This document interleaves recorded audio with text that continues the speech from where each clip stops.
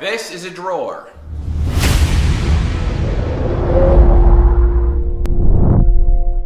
Hi, this is Richard. You're watching CabinetWise. Thanks for joining me. And today, we're going to build a drawer. And before we make the drawer, let's go into what it is we're actually building.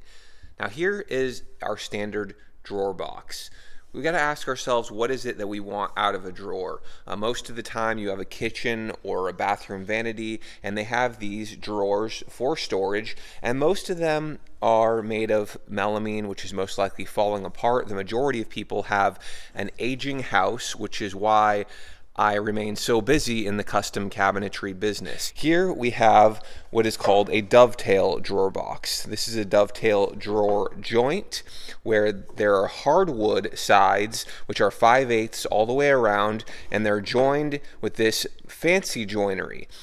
Now the question is, is this necessary? Now I asked sort of jokingly, is this drawer box better than a dovetail? I mean, from a woodworker perspective, from a fancy joinery perspective, or furniture perspective, no. Obviously, dovetail joinery is nice. But the question is for most people, if you were going to, say, reface your kitchen, and if you were going to make your own drawer boxes, this right here is a nice drawer. This looks clean. This is not made out of hardwood. It's made out of maple plywood and it's edge banded. I'm going to go through each step it takes to build this exact drawer. Finished, it will look like this. Very smooth. So if you look at the comparison, dovetail drawer box, which is higher in cost, this is a drawer box you can make yourself relatively inexpensive with very little experience. The only difference between the two visually is right here. Pretty much the same.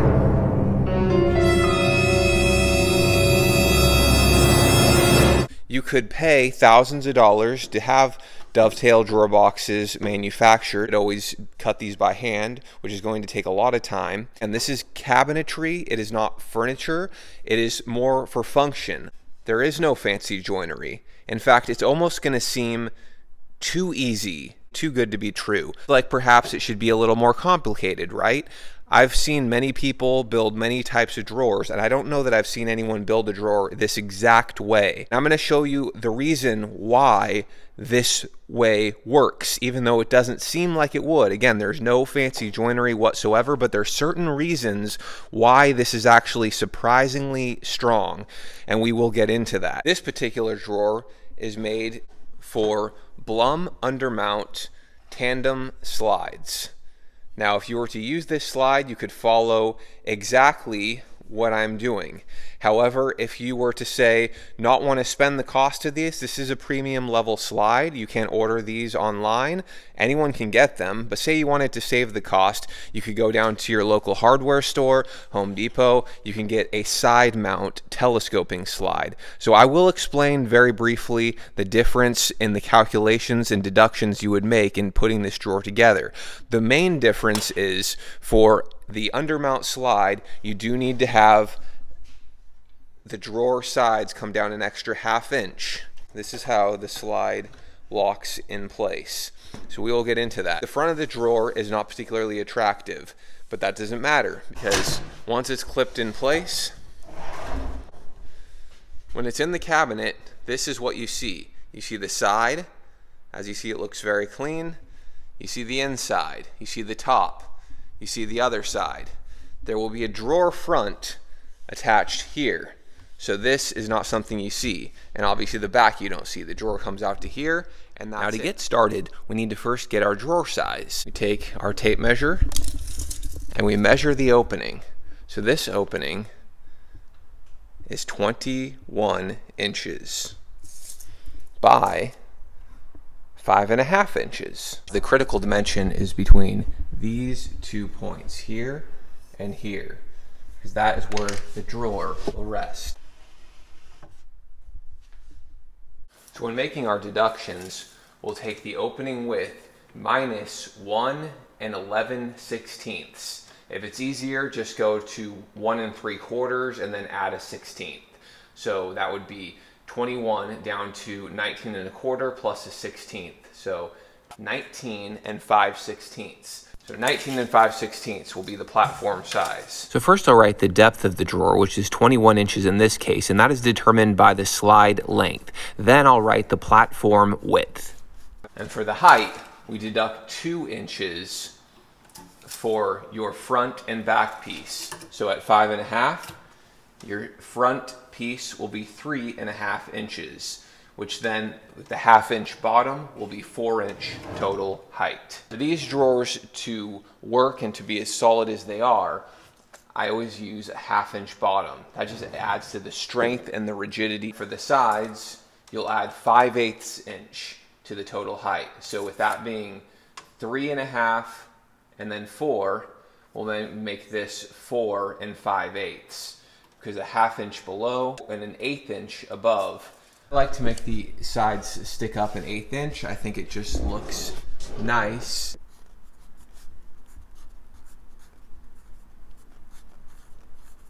We're going to be using three quarter inch maple plywood for the fronts and the backs and half inch for the sides.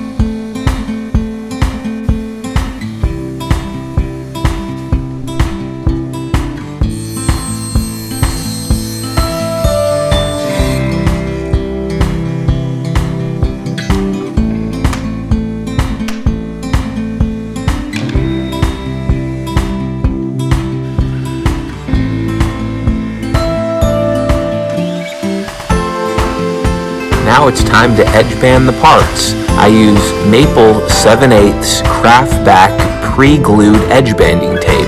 Works great. And then I use 5 8 tape for the sides.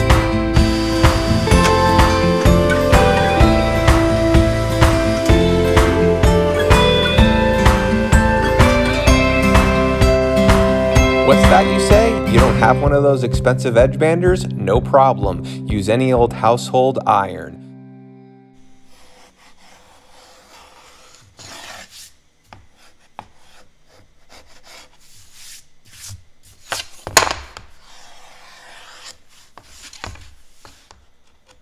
Now I'm just cleaning up the edges with a sharp chisel just to get rid of any excess material before sanding. And as I'm just scraping away all that excess, I'd like to point out that uh, I am using unfinished material here. And the reason for that is because, as I said earlier, there is no real joinery involved. Uh, we want this to be simple construction that can be built quickly. Uh, but the trade-off is you cannot use pre-finished material. If you do use pre-finished material, the glue will not adhere properly to that. And this method is very much dependent on the glue. And now I'm just gonna sand the edges of each piece.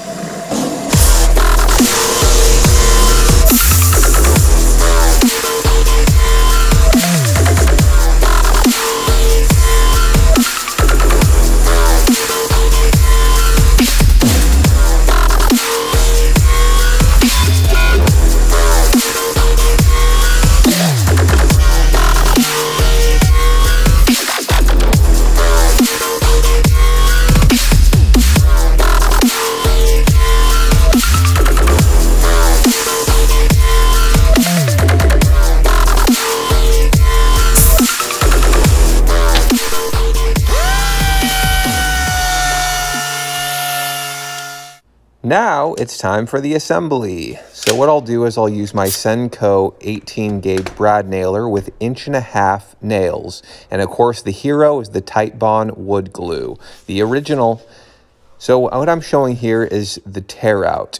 I'm going to explain that a little bit later as well, but when you're cutting the platform, you want to make sure the good side is facing down so that the tear out actually comes out on the good side which here is facing up. I just marked it because these front and back pieces are going to be covering that up.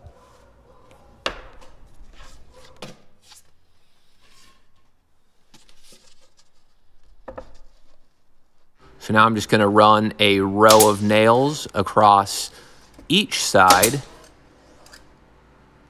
And these will be on the bottom of the drawer, so they will not be seen.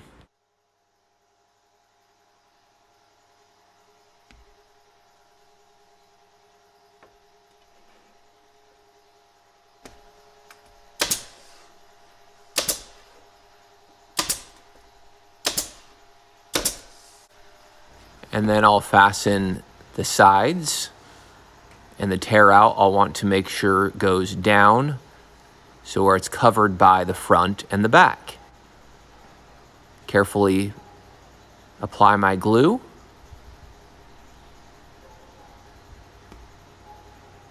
And then when I'm setting it in place, again, we'll want to make sure we have a half inch overhang on the bottom and an eighth inch on the top.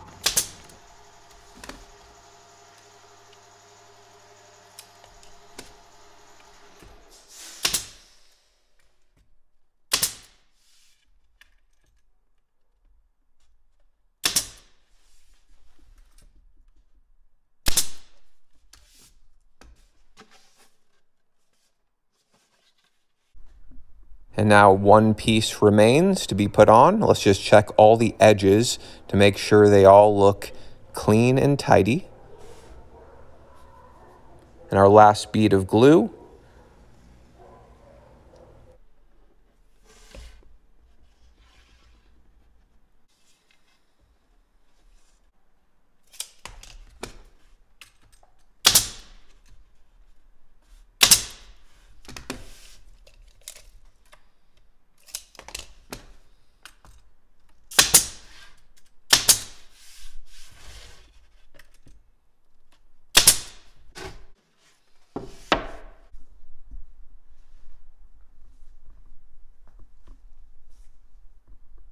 Now the last thing to do as we're waiting for the glue to dry is fill the nail holes. I use this wood filler in maple. This particular one is an acetone based. You can use whatever you choose. I just find that this works well because it doesn't crack or shrink.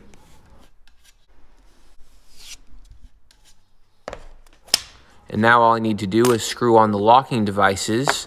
They sit tight against the sides while sitting 5 eighths back from the face. I'll use 5 eighths number 7 head Phillips screws.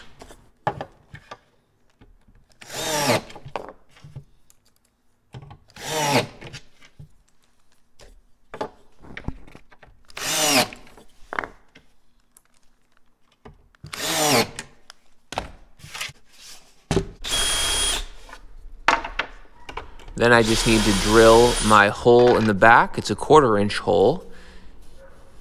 And it's made specifically for these Blum slides. This little tab sits in that hole in the back. The tandem slides, if they were to say use the side mount slides, the side mount telescoping slides, which you can pick up at any hardware store, the reason they're called telescoping is because their action comes out similar to a telescope. The same idea overall applies, except instead of adding 5 eighths to the total height here, the, the half inch below and the eighth inch above, you would only add an eighth inch and you would have the end, uh, the bottom end right here. So that's the only difference from that end. You just don't need this extra half inch. And then the other difference is when you make your deduction for the plywood, rather than subtracting 1 and 11 sixteenths from the opening to get your platform size, you would deduct 2 inches because you would need a half inch on each side for the thickness of the slide since they sit on the on the side a half inch on each side so that's one inch and then a half inch for each side of the plywood wall although you will want to check your actual plywood measurement because some are going to be shy of a half inch in which case you want to add an extra 16th or so to the platform itself um, to make up that thickness because really you want the drawer to finish out at one inch less than the opening if you're doing the side mounts. So now we have the wood putty drying in those little nail holes.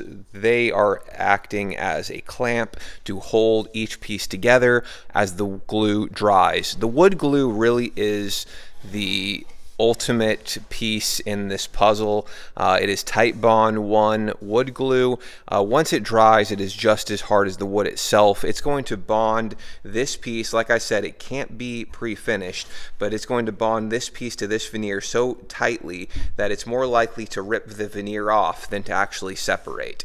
Uh, also, the reason I do the fronts and the backs in three quarter is so that there's a wider surface for this to be glued to. Uh, same idea with it being uh, half inch on the bottom.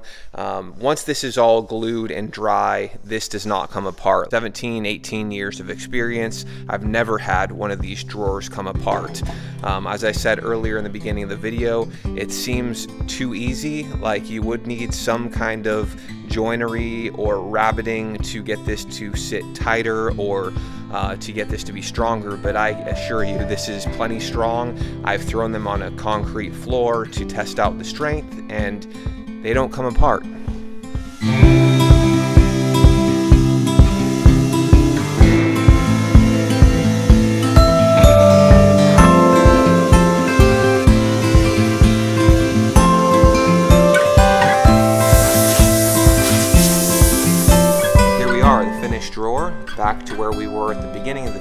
Except this is a entirely new drawer, so now I have two for that one opening. But as you see, it's all very clean looking. That's just some sawdust there. You can't even see the nail holes, and the glue is dry. So as I said before, this is solid. Between the half inch bottom, the three quarter front and back, plenty of surface for the glue to adhere. That glue is very strong. It glues stronger than the wood itself. Like I said, it's more likely that veneer is going to tear off than for that joint to separate. And there you have it. So one tip is when you're cutting your parts, make sure in order to get everything to fit together tightly, when you're cutting the bottom platform, you want to make sure your front and your back is exactly the same width. I cut them on a table saw. Uh, you could always use a smaller table saw um, in your garage. Uh, you could also use a track saw. You could use a Skil saw. That might be a little more tricky to get clean cuts, but the key is clean cuts and all the exact correct size. Uh, that way you're going to have everything coming together in the corners very tight. Again, um, emphasize is it's important when you're cutting on the table saw that your tear out side is going to be the side that butts into the other piece. For instance, on your bottoms, you want to make sure the tear out is up on the good side. So when you're running it through the table saw, you actually want to put the good side down and the bad side up so that there's no tear out here because that's the bottom of the drawer. It's nice to not have tear out. I didn't bother puttying these because they face down. You don't see those, but you could putty those as well if you wanted. So the tear out is hidden, any tear out is hidden there under that front and back piece. And the same idea with the sides. The tear out is hidden inside there. You make sure that the outside, I mean, generally you want both to be good sides because they're both seen. Uh, the front and the back really only need one good side and the bottom only needs one good side. Thanks for watching. I hope you enjoyed this simple drawer build. I hope you try it out and let me know what you think. Uh, also, let me know if you disagree with this method and think uh, perhaps some further joinery uh, is required to make a strong drawer box. As I said, I've made this for 17, 18 years, never had any issues with drawers falling apart. They're a very solid box um, just for simple construction, for um, mass production cabinetry, or for DIYers. Anyway, take care, and I will see you next time.